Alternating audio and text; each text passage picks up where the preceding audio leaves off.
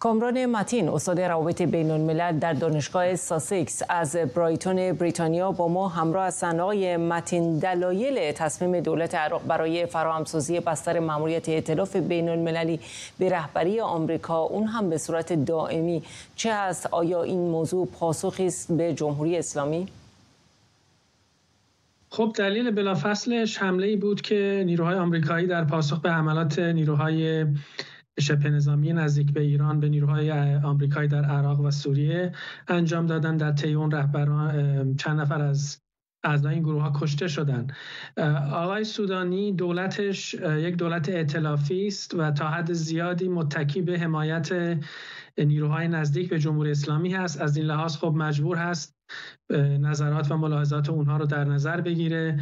طبیعتا از سوی ایران هم تحت فشار هست. ایران سالهاست سعی می‌کنه که نیروهای آمریکایی از عراق و البته از بقیه منطقه از سوریه هم برن بیرون. از این لحاظ خب فشار آورده روی آقای دولت آقای السودانی ولی خب این مسئله تازگی نداره. چند سال قبل بعد از کشته شدن قاسم سلیمانی به دست نیروهای آمریکایی هم دولت اون زمان عراق تصویب کرد. مجلس عراق هم تصویب کرد که نیروهای آمریکایی رو به اصطلاح بخوان عذرشون رو بخوان بگن که برید.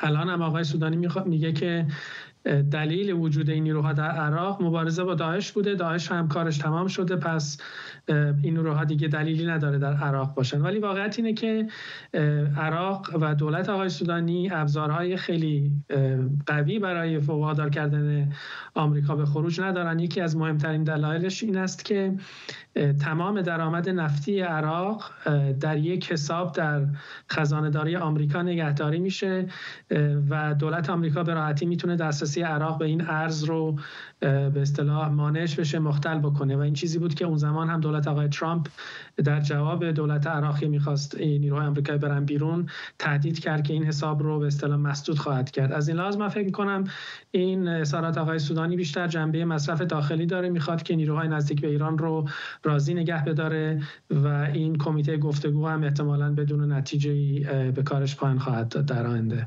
متین این تصمیم اساسا چقدر استراتژیک است برای عراق و می‌تونه در تامین امنیت عراق یک سهمی داشته باشه نقشی ایفا کنه؟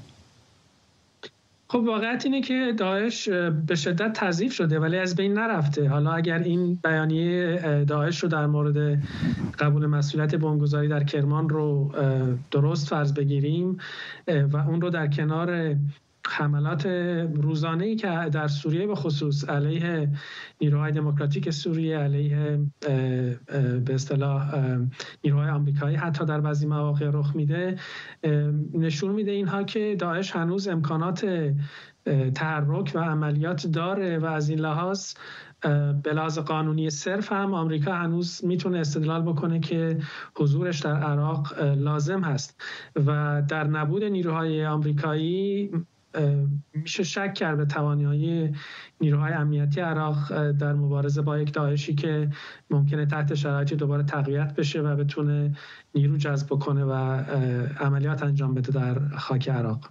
کامران متین استاد روابط بین الملل در دانشگاه ساسکس از برایتون بسیار سپاسگزارم از حضورتون در برنامه.